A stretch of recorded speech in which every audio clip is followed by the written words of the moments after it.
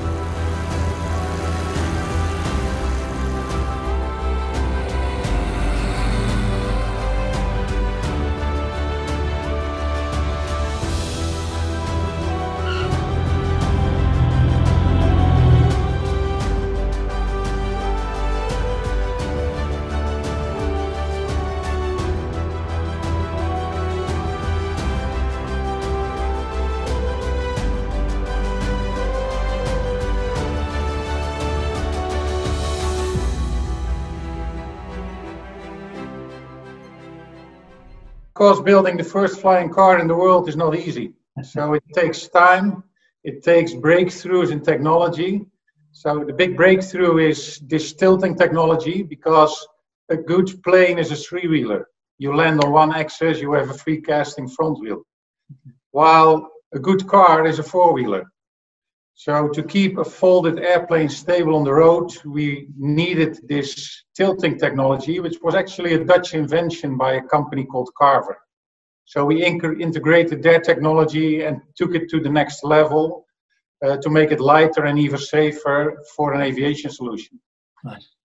Well, the other breakthroughs are that you need to fold something into a compact car. We are really compact, four by two meters, so a compact sports car. But to do that, you need to be able to fold your tail, to fold your rotor system.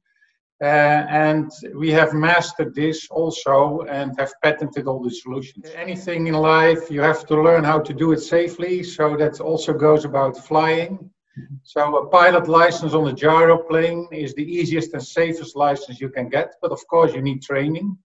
And uh, we have provided with a good training team that you can do that in the most effective but also most joyful way uh, with our flight drive academies. At the moment, the plan is to start delivery in the course of next year. So the vehicle we had ready for Geneva, which unfortunately didn't uh, go through, was the first out of production. But like in aviation, you not only have to certify a vehicle. You're also certifying your design organization, you're certifying your supply chain, you're certifying the whole assembly plant we have available at the moment. So doing all this work and then also doing all the, the official tests now on the produced vehicle will still take about 18 months. And the first 90 we call the Pioneer Edition. So they are recognizable, they have uh, certain specific characteristics which are really unique. Uh, there's only 90 made in the world, and more than half of them are already sold. Yeah.